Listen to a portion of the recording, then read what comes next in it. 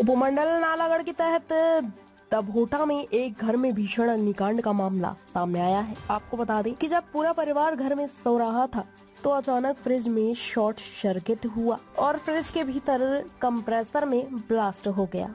जिसके कारण ब्लास्ट होने की वजह से आग ने पूरे कमरे को अपनी चपेट में ले लिया। आग लगने के कारण एक तीन वर्षीय बच्ची की दर्दनाक मौत हुई है, जबकि उसके माता पिता हादसे में गंभीर रूप से घायल हुए हैं, जिसमें उनके पिता की हालत को गंभीर देखते हुए पीजीआई चंडीगढ़ रेफर कर दिया गया है। जहाँ पर अभी भी उनके हालात गंभीर हैं, जबकि हादसे में घायल महिला प्राथमिक उपचार के बाद उन्हें घर भेज दिया गया है।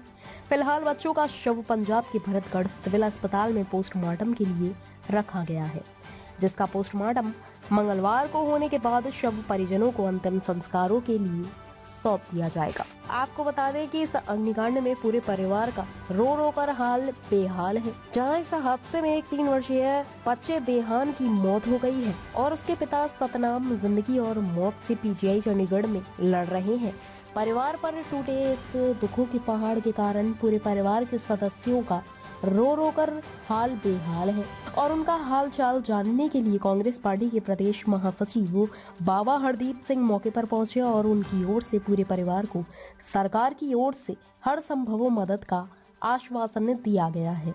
और बाबा हरदीप सिंह की ओर से पीड़ित परिवार को आर्थिक मदद के तौर पर फौरी राहत राशि दस हज़ार दी गई है। मेरा हुक्म जान क्या गल हुई रात? साढ़े ग्यारह बजे अग लगी। कैसे पता लगा? तो पता नहीं कदकना लगी फ्रिज फट गया। अच्छा। हाँ जी। कितने लोग थे अंदर? अंदर तीन थे टोटल। दो तो निकाल लेते एक बच्चा है छोटा सा। क्या नाम है आपका जी? भूपेंद्र सिंह है जी। क्या हुआ था यहाँ पे रात को रात को शॉर्ट सर्किट हुआ है अंदर नहीं। तो पूरे कमरे में आग फैल गई। और एक तीन साल का बच्चा है उसकी डेथ हो गई है। दो, एक उसका जो फादर है, वो चंडीगढ़ में पीजीआई में दाखिल है। उसको भी ज़्यादा जड़ गया है। और जो उसकी मिसेज है, उसके भी मुँह पे लगी है। बाकी अंदर सारा कुछ जल गया है। नुकसान बहुत हो गया जी जितने भी बेड वुड साथ का कमरे थे, उनके में भी प्रभाव पड़ा है। उसका जो फादर है, उसके भी मुँह पे लगी है। एक ही छत के, यानी कि तीन चार। सब कुछ तबाह हो गया सब कुछ खत्म ही है ये बिल्कुल ही।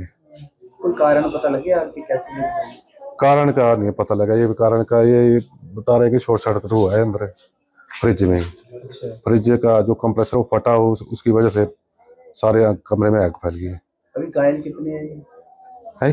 कितने लोग घायल हैं? घायल घायल सा- ताज़ा खबरों से जुड़े रहने के लिए हमारे चैनल को सब्सक्राइब करें और बेल आइकन को दबाना ना भूलें, ताकि हर खबर की नोटिफिकेशन आपको मिलती रहे।